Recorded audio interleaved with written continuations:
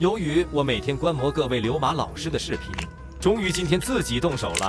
用到的是小麻薯新品二十四节气里的隐藏霸气。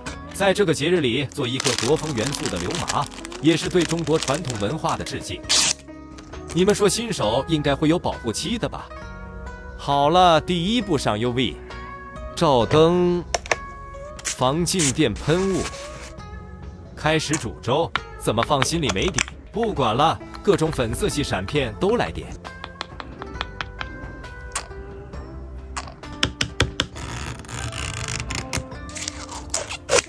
继续上 UV，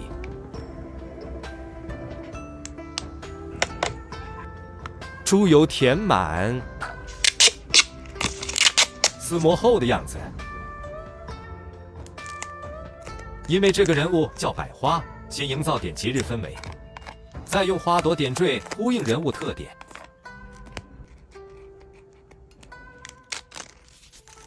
丙烯笔涂色，没有副板，所以用 UV 封层。照灯。